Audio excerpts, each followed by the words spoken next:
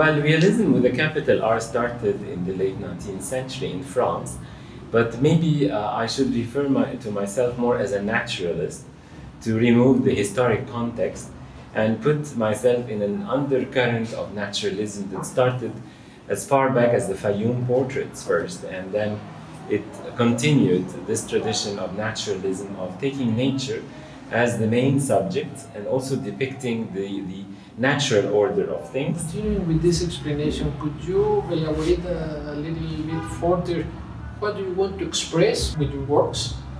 Uh, my main aim actually in, in painting is to uh, elevate the soul.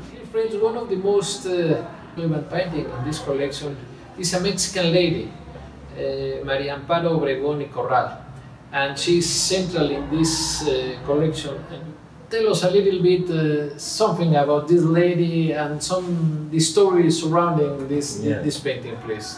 Thank you. I mean, it was such an interesting incident or coincidence that I would go to my local antiquaire next to the studio and I find a stack of old magazines. It was called L'Image and it was an Egyptian magazine but published in French for the French community in the first half of the 20th century.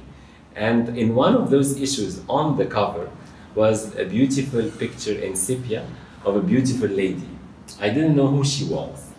And I bought the magazine because I really liked how she was dressed and how she was sitting. Very elegant, captivating features. So um, I decided I want to paint her. So I, be, I began actually painting her in color, uh, in, in an interesting painting. And uh, it went so well as if she was actually sitting in front of me. I could feel her presence very much. And then I gave the background three colors a color of the bench, and then a green strip, and then a blue strip. And I thought the green strip looked a bit like papyrus. So I said papyrus is very common in Egypt since the pharaohs, but I was wondering if there is Mexican papyrus. So I asked Mr. Google, and he told me the giant papyrus is Mexican, very Mexican. And I was moving in this direction. But with her elegant dress, I found the, the papyrus is a little bit too shabby for her. So I called Your Excellency on the phone because I know that the garden of the Mexican residence in Maadi is beautiful. And I wanted her background to be Mexican. So uh, you kindly accepted that I would come and actually finish that painting live in your garden. And it was a beautiful uh, afternoon. I looked at those beautiful trees and with the large painting and the oil gear, and I started in two and a half hours to paint frantically to catch the lights before sunset. And uh, the painting uh, was almost ready. I only had one more sitting to work on it.